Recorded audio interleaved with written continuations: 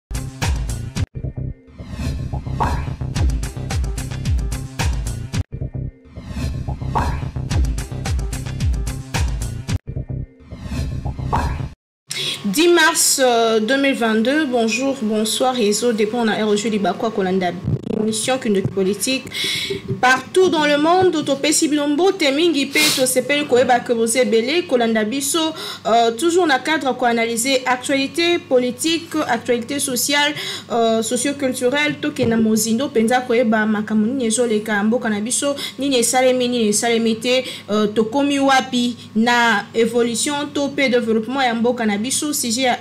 kindoki politique ezalaka ba problème ya mboka congo ba solution e toloba na verité en face mpo toyeba ndenge nini tokokende liboso mpo toza bana ya mboka moko alors na cadre ya émission kindoki politique ya lelo toyambeli bino mwana mboka uh, joseph ngoto vice président interfédéral ya mlc ville de kinshasa azali mpe président du parlement de la jeunesse ya même parti Cher ya Jean-Pierre Bemba, les sous-sous communicateurs, il y a mouvement de la libération du Congo MLC en sigle. Alors, na elongo toro sur la question d'actualité, membre à Union Sacrée, euh, mon amboka Joseph Ngoto Mbote na yo. Mbote mingi maman Naomi. Bonne santé. Kitoko esengo mingi ya suna plateau na yo.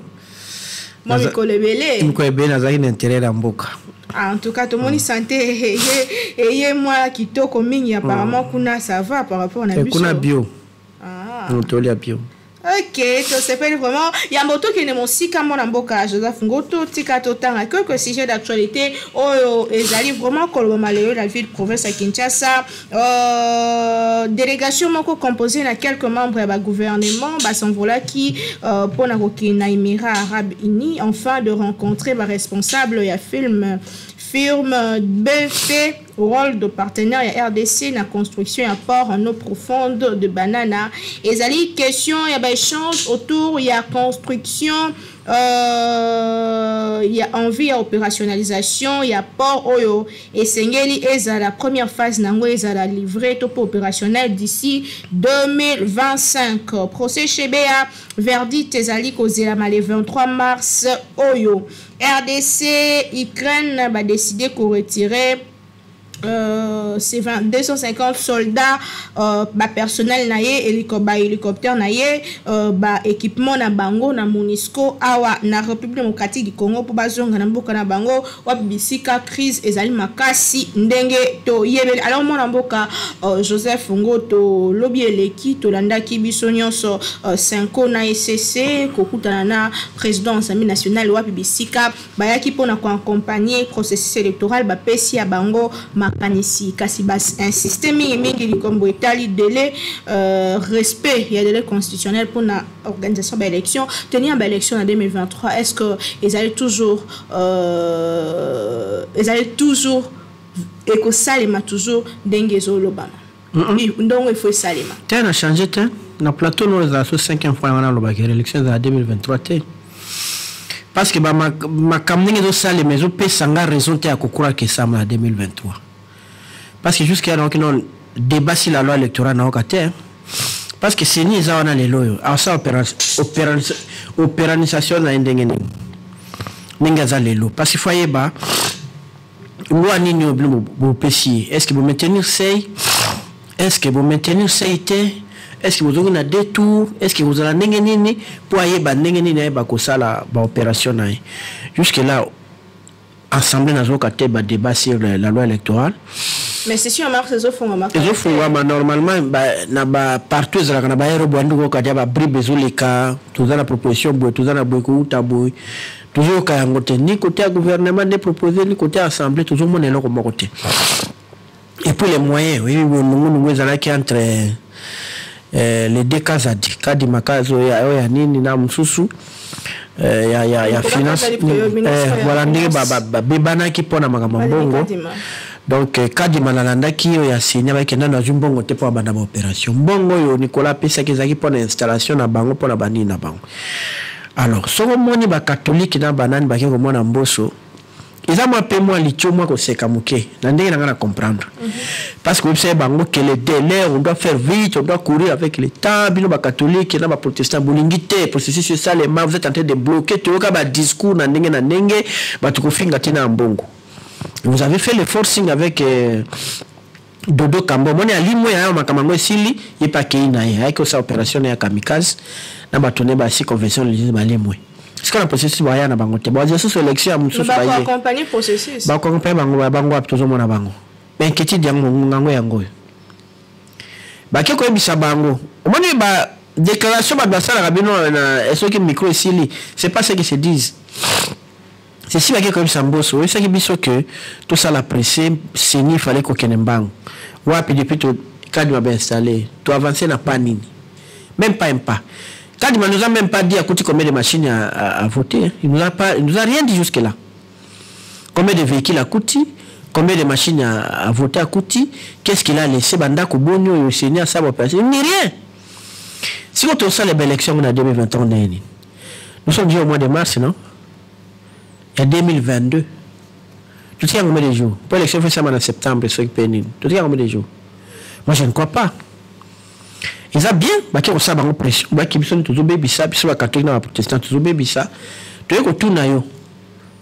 yo nde parlement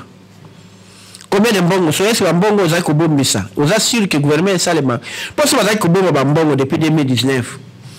lelo oyo kadi menga kutu mwe ata meme 1 euh, milliard meme 500 million na compte anga abanda déjà makambo ebele me tomoni euh, badélégation ya euh, bandeko euh, baleki mwa mingi tomonaki ambassadeur ya, ya, ya, ya usa alekaki tomoni bandeko ya union européenne mpe baleki bazo uh, koloba certe ke bakosunga mpenza uh, processus électoral oyo eza déjà uh, moko ya bapa mundele asungaka boye te fosaele plan plan na yo programme na yo amoni nde ayebi ya ngai nakosoutenir yo awa peut-être na baavion ngai nakosoutenir yo peut-être na imprimerie ngai nakosoutenir mais bosemba eloko moko te boseka plan na bino ya nini bolobi nao te ke élection yango tokende yango ndenge nini loi électoral eza nini tomoni yango nao te awa ya bongo te apesi volonté na exprime baexprime ya volonté na bango maintenant pour concrétiser il faut bino bolakisa tableau ce que vous allez faire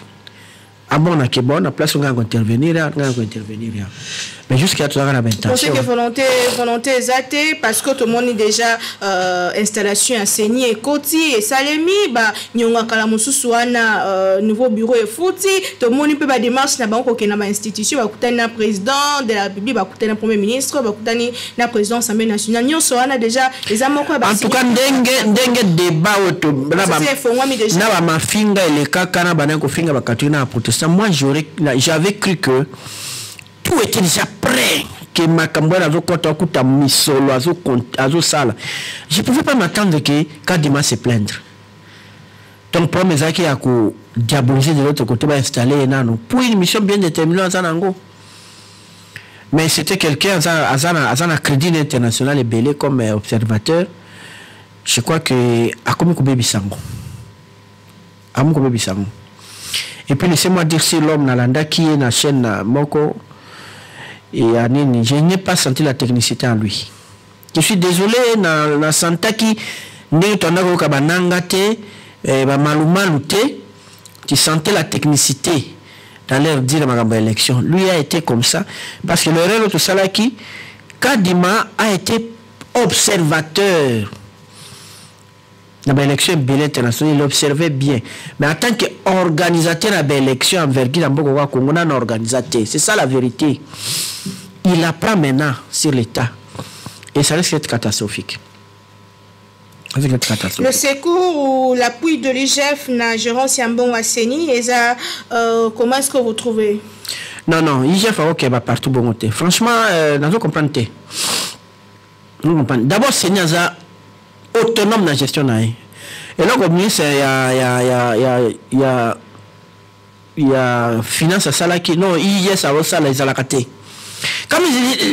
quand vous nommez déjà, ce ne sont pas vous, vos non, enfants. Surfacturation, et ça les maquille, il faut qu'on la Il y a problème, tu es au souka. cours de compte makambo ntina nango ezalaka nini mais laisse les gens travailler quand même seigneur ebimaki basalaki compte na bango bakosala te parce que banomaki badepute ana na controle bango c'est l'assemblée qui nomme yo seni wana en tout cas programme biso baresultat en détail te les gens savent que c'est comment ils sont devenus députés bakocontrole te c'est ça le mal nous même nous tozoloba makambo tozosala yango te soki asali plan na ye bomoni yango bopesi ye mbongo botiki asala mosala après boko contrôler bomisi ba facture ke okosaki mais kala igf va là-bas oyo ba entreprise ebele ezo freine mpo mpo ministre asigne ata mbongo akosomba kaka mai ya ata 50 dollar il faut bato ya, ya igf bazala na batala société wana atekaka mai ya solo ezalaka nini e seselan fonctionnement ya leta ekomi kilo alors que dans ces entreprises il y a des services de direction momba ya baudite mais ils servent plus à quoi maintenant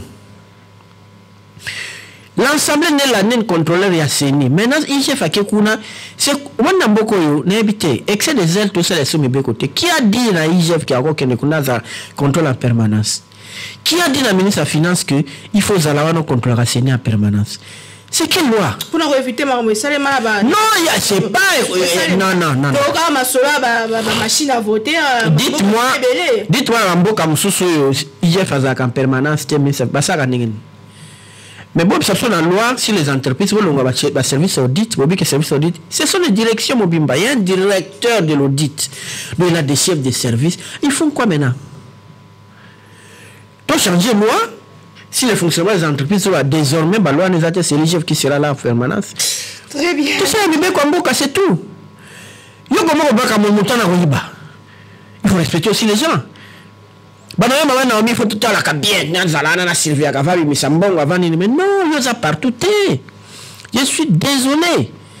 tosalela mibeko tokutilture ya corruption culture ya moyibi culture ya nyonso wana ye moko jile alengete alobaki yango ezalaka déjà yango ozofo kolandela pour que esila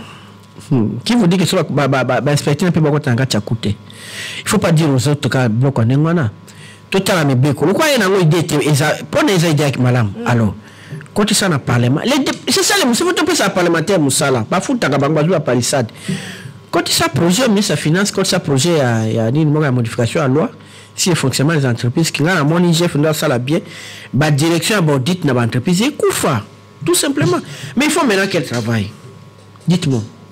si les fait là bango audit wasani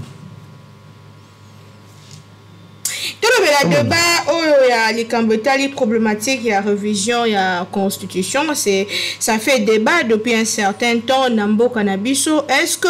euh, quel est votre point de vue sincèrement vous pensez que passer de 5 à 7 ans va résoudre euh, bah, problème ya mboka na biso débat inutile bolimbisa ngai inutile eza na eza na eloko moko comment ça expliquez vous parce que un congo tosi tochange baconstitution ata révision ata 10 fois avec mobutu kabila mpe ayaki achange donc nalobi yango naotala na miso kamera otala ngai ba révision constitutionnelle nyonso basalaka ezalaka au profit ya régime en place et non pour le peuple et ngai eloko eza mpo na régime kaka eza mpo na peuple te je suis pas dedans même soki ose faire partie na union sacrée moi je te dis naza nano peuple avana comme union sacrée ocomprendre débat wana no bamemi yango na kati ya union sacrée te topesa mpe baopinion na biso eza kaka bato balance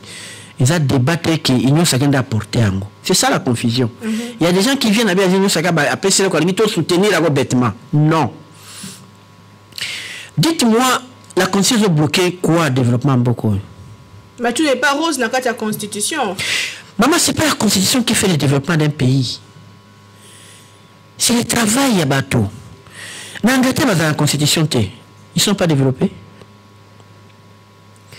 na chine baa na constitution na bango ya parti unique tout le monde travaille baza développe te na japon bacour de tribunaux ezalaka te juste ezalaka te pourquoi que les, les, les textes là les papiers est ce que tu respectes nano yango na peso kasi nini simple awa te loi sur les entreprises nini pa babi ke igf il faut yaka wana permanence mais les gens bafou ça non puis omonaka la constitution pouvoir politique il y a les lois les règles sont bafouées ici comme pas possible 7 5 ans tozalaka na 7 ans mpe na congo oyo badeveloppaka yango moto avec 7 ans so mozali kosala kosa meme na 2 jours mais tozovante gf awa balobi ke gf na temps moke atriple recette ya l'état et lui il a fallu 7 ans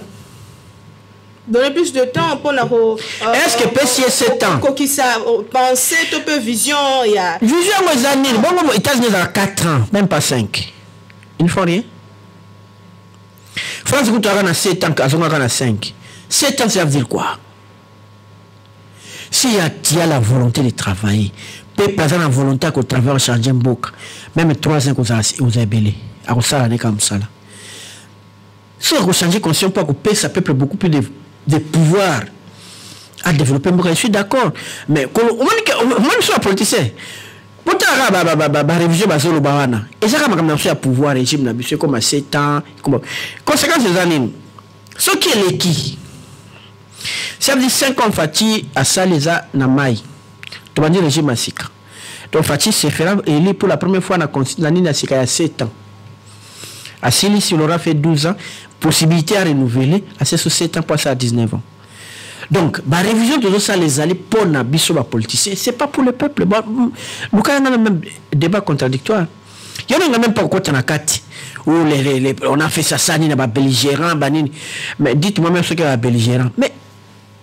Conscience ezalaka na histoire non ezalaka na histoire na philosophie boyebisa nga place nini constitution epekisi nze président atonga mboka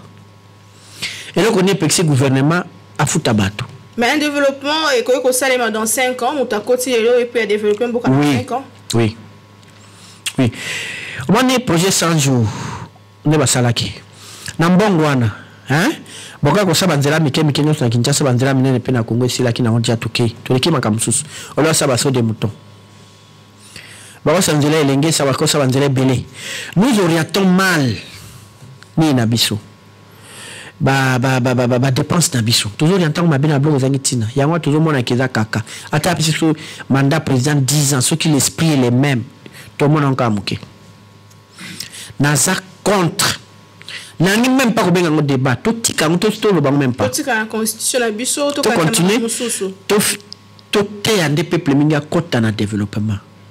alinga mboka travailler le président bamanda etali ye te atravaille nde bilanga atravaille et développer mboka c'est ça là c'est là où viendra notre salut bilanga yango bamoyen mpe kosalela yango eza makasi te banzela komema biloko yango ko traverser yango pe eza ebele est-ce que constitution de boy constitution de boy batonga nzela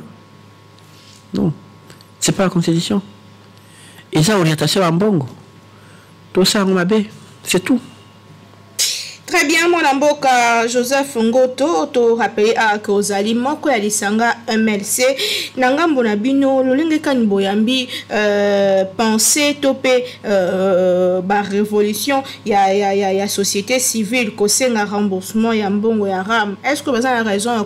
koloba ke mbongo wana ifo ezonga lelo bazali kokana ko meme kosala baactivité sur terrain mpona kosengaki barembourse mbongo ram alors que ram eza déjà service moko ekomi gratuit non baa na raison ozwaki bato mbongo mpo osala yango mbongo azwaki basala yango ntango toyebi ke mbongo wana place ekete tosala yango il faut qu'on nous dise au moins so esi so ambongo wana tosala bie ezali tozosala nango boye ok mi ozwi mbongo ya motu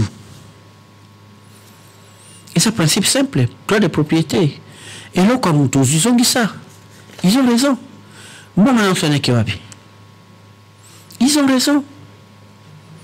oyo eza ta makambo te ke ngai na defendre yango union sacré so mpe ndenge nini non en tant que citoyen ngai babendi ngai mpe la rebele faut azongisa lare na ngai baza na ndenge ebele azongisa bazongisa biso bainite na biso ezaka façon ya rembourse balar façon ebele akosala na tongitongi babiloko mona mbongo wana moto azwaki ti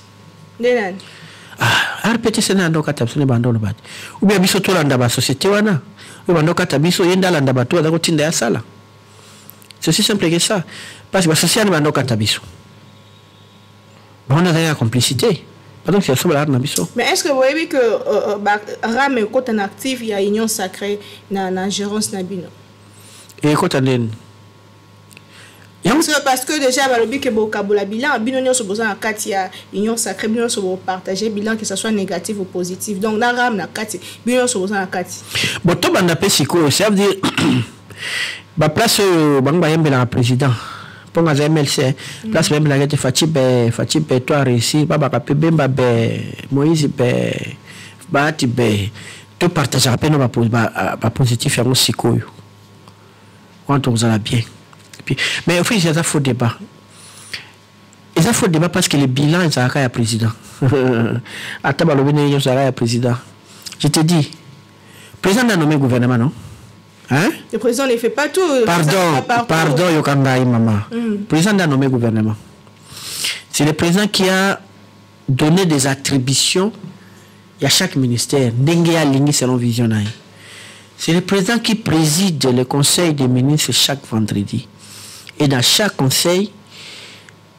le président alandaka évolution ba nani aucun ministre ne fait les choses selon ye et le ministre euh, exécute exécute selon ce que le président dit asala yebisa nga sikoyo nani nde fo arendre compte parce que le président a le pouvoir so ministre ana osala ndenge ye alingi te alongola ye mpo azokende akote ya vision na ye sikoyo nani akorendre compte soir logique tozokima yango pourquoi lelo balakaki kabila 18 ans de cao mais ngai mrc na kojira na kabila na de 2003 à 2006 mais na mabe na ngai mrc na mabe ya rcd na mabe ya ba ya bazaidi ngoma ye moko kabila andima yango te awangana yango mais tozala logique kosala yango débat te kofinga moïse kofinga bato non même celui qui a dit ça na, na... Okay, oza sincère te boza ko non toza sincère quand on lui dit que le, le bilan c'est pour les chefs c'est pas pour nous tous je suis désolé c'est comme ça c'est pour les chefs et quand ils disent que kabila bomi mboko durant 18 ans bien bazalaki na kati te biso mpe tozalaki na kati ya 18 ans wana mais kabila asime ça non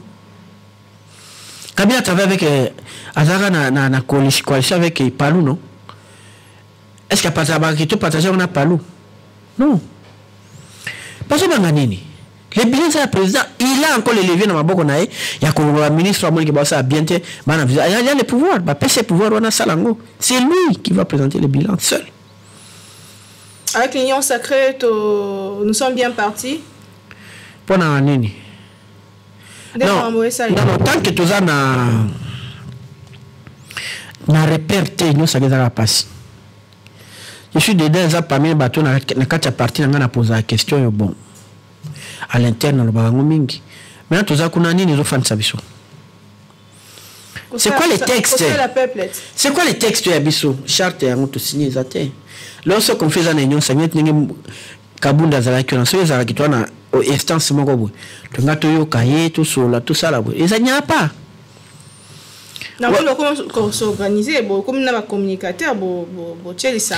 eza bajeune kaka mwanike bulo eza te baweleli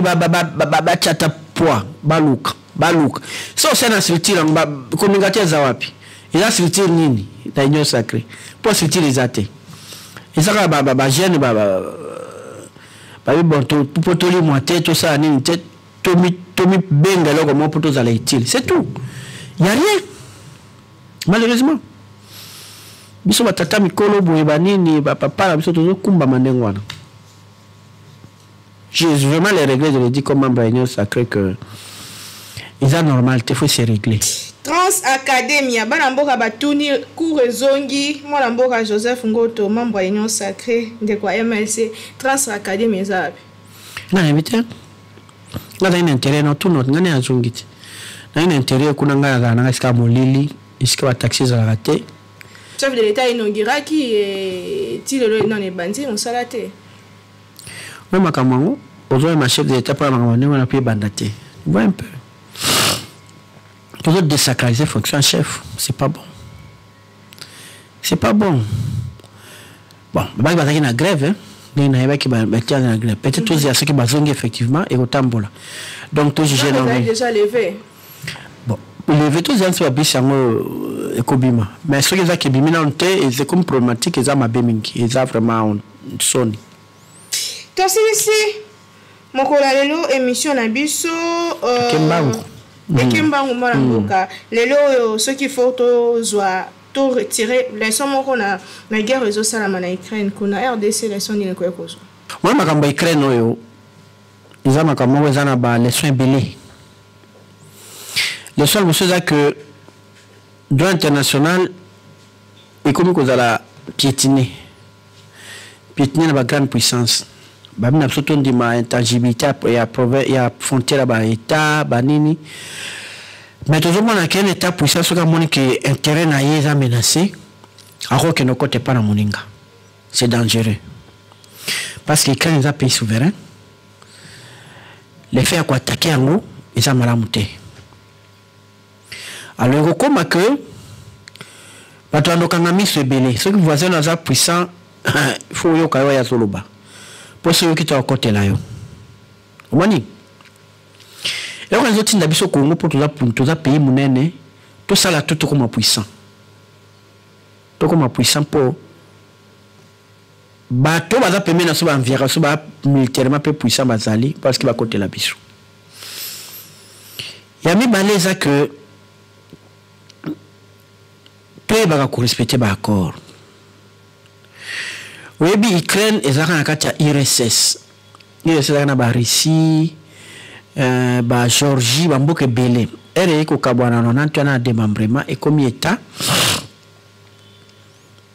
ile russie abaki na états-unis yo ozalaki na kote no nde toganyaka allemagne nga kote ozalaki pacte de varsovie ya défense donc ile ezalaki okoa moto ayaki kodefendre bamboka wana nyonso ya europe de l'est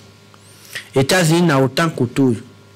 basali guerre froide eye esili nayebi ke démocratie ekoti mais mpo na sécurité na ngai bapays wana ya pembeni na ngai bokomisa bango mamambre na bino ya otan te boti mpenza zone na ngai ya ya securite mpo ekozala mabe baaméricain bakomi kokɔta bazwi bamboka mike mike bakomi kokɔtakɔta pays na bamboka nyonso ya ancien russie ya mwa puissance ya économique mpe makasi ezali ukraine ukraine aza na nzela moko elekaka wana oyo esipemetaka russie aya na mer soki lelo akomi membre ya otan ayando katisa ndenge wana te asentir ke danger ekomi koyela ye russie bangi bazwa ukraine comme président visionnaire ya koluka intérêt ya peuple na ye aanticipe mpo amoni ke président aza wana azali pro occident e akokoma na danger mpo susi ya américain ye ayebi ezalaka banyeta mpe badomine monde mobimba lokola asalaka euh, nini, nini wana frais wana etats-unis alingaka te yango ozomona aatake donc côté politique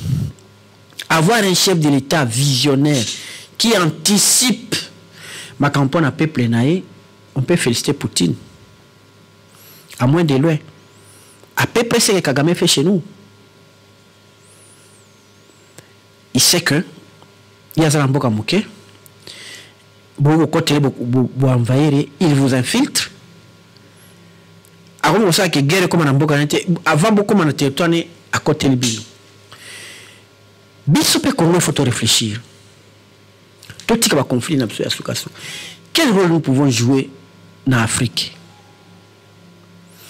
lelo toa na rôle moko te kongo atojoue kote ya sport tozongi nsima kote ya to miziki mpe tomongo ozonga nsima ce n'est pas normal il faut toluka tozala parmi bagrand biso toza mboko tokoki kosala une armée ya 500 000 personnes na congo aucun pays na afrique akosala yango non pouvons mpe le faire oh. toza déjà na vocation na vie euh... c'est ça soki se définir que tozala grande puissance mm -hmm. on peut faire une armée de 500 000 personnes na congo soki tozwi mpe police ya otan donc on aura des gens armés ya 1 million mais qui va se, se, se, se, se jouer de nous toando dicte loi na biso olia koplerniche mais ono on a mpe une vision mama congo ngai nabi na congo tokosala 20 fois baélection ntange toyebi esika tozokende te ezalaka na yango ya bongo toa nano epoko tokumisaka nde bato ke moto nde akomema solution na mboka c'est impossible il faut tofanda un moment tozwi bascientifique congolais bapoliticien congolais bana tofandi tobi bon tosala nano Projection ya Congo ti 2050. Sans couleur politique. Sans couleur politique. Ti 2050. Nous savons que Belo basala sa projection na lelo bakozalaka na bango te ba projecter. Mm -hmm. De Gaulle alansaka union idée ya Union européenne en 1956. toza baza na monnaie moko tout ça mais n'a pas vu la monnaie européenne n'a pas vu nini akufa ne avant mais idée ezo ekei nous on doit faire ça tolobaki non en tout cas congolais aza na tiela na 2040 akozwa voiture ne botiaki bukavu mpe ake lumbashi kongolo aza na, na tielo aza na, na nini abanda mpo omona courant epai na ye internet mpe epai na ye na village na ye qu'est ce qu'on fait To decider eza programme na biso tout. Comme ça tout politique yo politicien kenda sala campagne non ke ngai na ko permettre yango ekoma rapidement. C'est comme ça États-Unis atia na moto ne na mwana ne na bébé azobotamaki yo États yo Américain ozaka numéro 1 ya bato nyonso. Mwana azobota yebi ke ngai azaka numéro 1. Ngai États-Unis naza mwana azo eza ozala démocrate ozala républicain question ya domination américaine na monde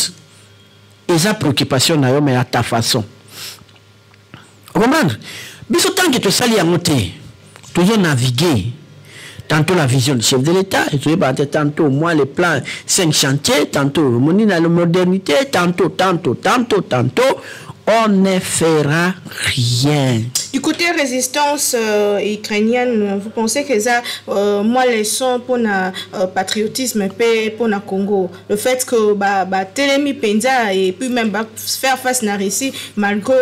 que malgré euh, ba malgré euh, armée na bango et autres tout moni bat ko, ko s'enrôler na armée eza moko pe ya ba euh, ya ba côté euh, fort na bango oui l'idée est très très très très très euh, bonne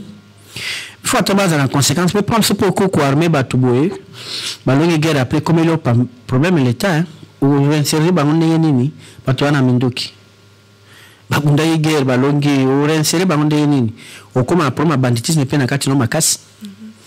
le problème eza bien ndenge eza na constitution awa eza eza mpo eza na constitution hein? que bana nyonso à l'âge ya 18 ans fake formation militaire ezali na constitution na biso ezalaka il faut que ton mwana azwi diplôme d'état ake 6 mois azongi il va faire le choix mais aza réserviste akokende na ye mama nome oza no journaliste mais jour polonli polonli polonli guerre ba attaqué on sait qu'on a au moins 10 millions de personnes oyo manipuler arme bajeune toso formaka bango bazwi kamino facilement on sait contrôler osali bodefendre mboka bozongi comprendre donc idée wana ya konini futsala yango eza bien mais mpo na nga mingi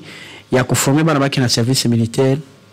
bazongi mpo soki moto asali armée aza na discipline fort meme bakuluna na bakoma discipline Ça n'est fini pour aujourd'hui. Votre mot de la fin par rapport à l'émission Mon Konaldo Moi, il y en a à faire ça que na quoi je ne pas maman, mais ça sans la bino. Faut que bakiboli kipso na mingi. So bozo na sima bozo s'appelle devant ma kongo sima. Parce qu'on vous met de côté. ce sont des énergies ya grave totie pembeni pa 54 pourcent de de mama leo na congo donc so tobabaka to 80 millions bino baso 46 millions boza ebele koleka donc faut to botra bino mpe bokota na mosala wana ya développement bolinga mboka tokoki mosala mpe mosala nyonso basi mpe baza na armée basi mpe baza na santé na, na médecine il faut bamama batelema soki botelemi te donc misala wana ya 100 pourcent basala nga na 20 pourcent ya bakongole boyike bozo freine mboka bozela te biso te totelemisa bino bino moko botelema mpo boleki biso na mingi bino nde bovota bapre soki na biso lelo bino bobimisa badirigeant bino mama bolinga mpo basala te balinga bino basi bokosala yango mpo boza ebele fort koleka biso donc botya yango na misala Bo boza ndenge moko na biso. Botia kaka mabala liboso te, banini liboso te, bokomona ke mboka ekokende liboso. Donc nazo encourager bino, moi je connais na tanga pe na basi na classe oyo bazobima pe prime koleka ngai na, na, na, na, na, na, na classe bazosala makambo ebele pourquoi pas bino ba réduire bino te na ménage kaka eh, botika mpe kolelaka lelaka mais violence faite à la femme nini à la femme nini te tobunda tokomi eloko moko tobunda Merci beaucoup, Merci. Monsieur Joseph Ngoto. Vous rappelez ah, que vous avez vice-président interfédéral MLCV la Kinshasa, P. Mon corps, il y a communicateur, il y a MLC et Sili, émission qui notre politique. Moi, euh, j'adresse un message aux jeunes filles, surtout, tout élément, tout, tout le que l'on au sala, to apprendre eza vraiment ntango na biso kowelela kaka libala te mpo libala eza assurance ya vie mobimba te kuna mpo ozala partenaire ya motu ekosunge mpe euh, même sur le plan financier okomema 100 te mais okomema mpe quelque chose e soki mpo oza na motu te bana yango baozala mpe na éducation ya bien tokoki mpo osala ebele mpo na mboka congo ebele mpo na famille na yo donc tika komi euh, komi dévaloriser kozala légère te mipesa valeur esili lelo kindoki politique tokutani prochainement